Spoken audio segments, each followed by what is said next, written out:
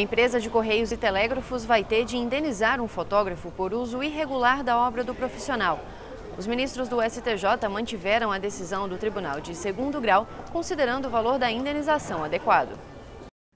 Ao compor uma música, pintar um quadro, tirar uma fotografia, escrever um livro, entre tantas outras expressões intelectuais e artísticas, os autores têm garantido o direito autoral.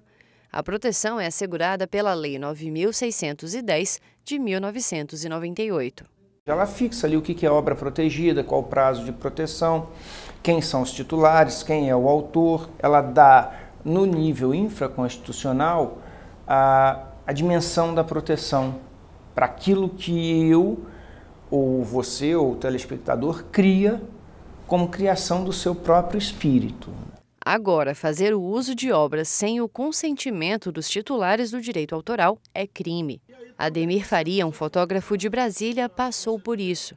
O trabalho dele foi publicado em um livro sem autorização e sem os devidos créditos.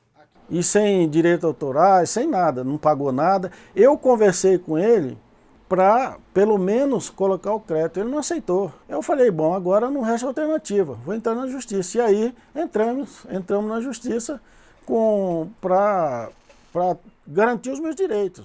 Porque eu acho um livro histórico tinha que ter pelo menos o crédito. Um caso envolvendo também uso indevido de imagens chegou ao Superior Tribunal de Justiça. Um fotógrafo alegou que fotos dele foram usadas pela empresa de Correios e Telégrafos em selos que homenageavam o Botafogo Futebol e Regatas e ainda com autoria atribuída a outra pessoa. A segunda instância considerou que houve uso não autorizado da obra e definiu indenizações de R$ 3.300 por danos materiais e R$ 5.000 por danos morais.